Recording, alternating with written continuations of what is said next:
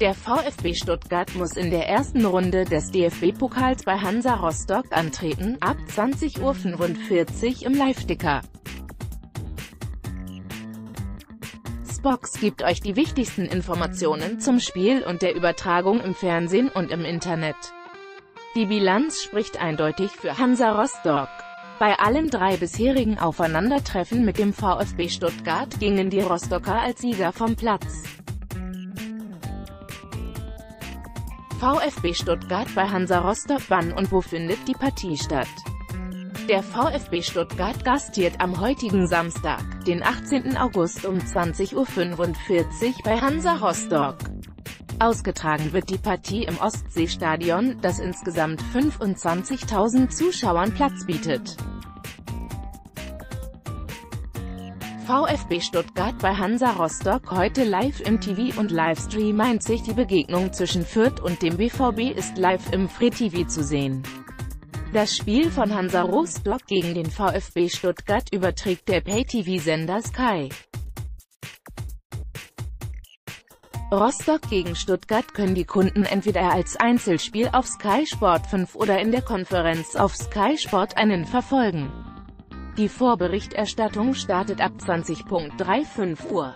Michael Born, Einzelspiel, und Sascha Rose, Konferenz, werden das Spiel begleiten.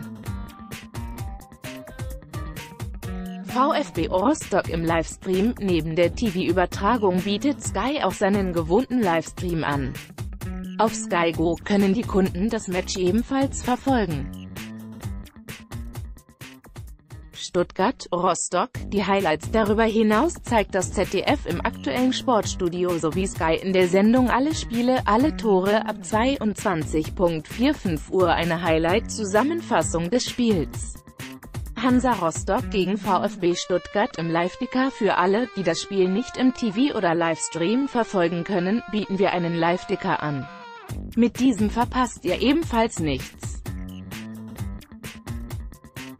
Hansa vor Stuttgart, Trainer Pavel Dotschew baut auf eigene Fans Hansa Rostocks Trainer Pavel Dotschew schob erwartungsgemäß dem VfB Stuttgart die Favoritenrolle zu, macht sich jedoch Hoffnungen auf einen Coup gegen den Bundesligisten.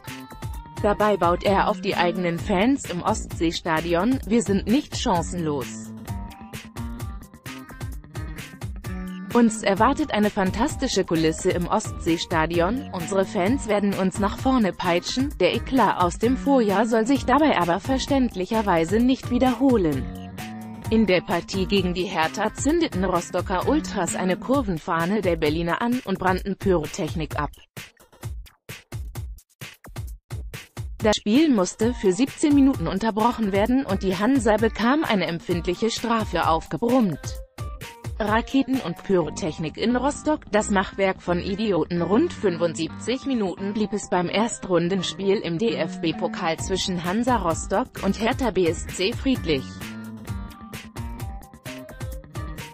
Dann sorgten Chaoten für eine längere Spielunterbrechung als Reaktion auf ein geklautes Hertha-Banner der Rostocker wurden ausgehend aus dem Hertha-Block Rauchbomben und Pyrotechniken gezündet und Leuchtraketen aufs Feld geschossen. Der Schiedsrichter bat die Teams in die Katakomben als wären die Szenen nicht schon schlimm genug, wurden auch noch Leuchtraketen in den Fanblock der Rostocker Supporter geschossen. Beängstigende Szenen erschrockene Hansa-Fans. Kurz vor dem Einschlag währenddessen zelebrieren sogenannte Hertha-Fans ihr eigenes Feuerwerk. Dabei hatte alles so schön angefangen. Die Rostocker Anhänger zelebrierten zu Beginn ihr Ostseestadion. Einige Teile der Hertha-Anhänger hatten sich durch eine geklaute und von den Rostockern präsentierte Fahne wohl provoziert gefühlt.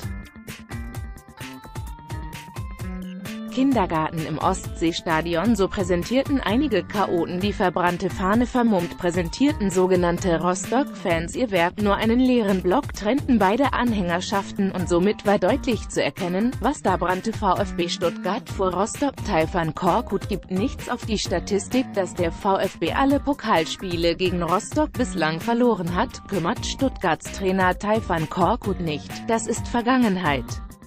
Fußball ist heute und morgen, sagte er vor der ersten Runde des DFB-Pokals.